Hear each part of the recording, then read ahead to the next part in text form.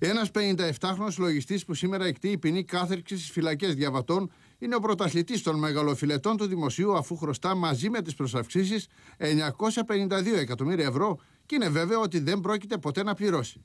Πρόκειται για τον πρωταγωνιστή του μεγάλου κυκλώματος που αποκαλύφθηκε πριν από 10 χρόνια στη Θεσσαλονίκη και είχε μέλη εφοριακούς και επιχειρηματίες που εξέδιδαν πλαστά και εικονικά τιμολόγια, ζημιώνοντας το δημόσιο από παράνομες επιστροφές ΦΠΑ με 4 δισεκατομμύρια ευρώ.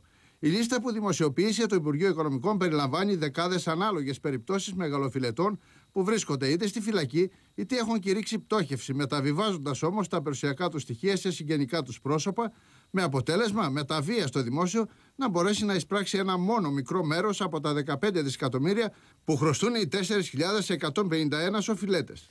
Η δημόσια διαπόμπευση οφειλετών του δημοσίου θα πρέπει, εκτός από νόμιμη, να είναι και αποτελεσματική όσον αφορά την ίσπραξη τελικά των οφειλωμένων ποσών.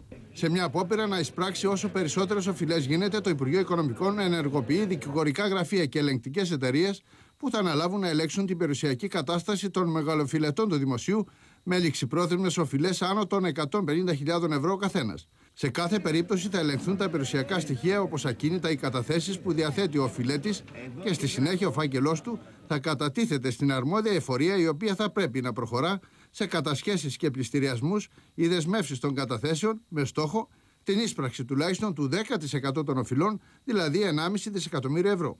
Θα πρέπει να υπάρχει ένα κίνητρο για αυτούς, δηλαδή θα πρέπει να υπάρχει μια αμοιβή, ποσοστό των ε, ποσών που θα εισπραχθούν. Σειρά μετά τους οφειλέτες με ληξιπρόθεσμα χρέη άνω των 150.000 ευρώ παίρνουν και όσοι χρωστούν πάνω από 100.000 μετά την εντολή του οικονομικού εισαγγελέα, ο οποίος ζήτησε στοιχεία από τις 30 μεγαλύτερες εφορίες.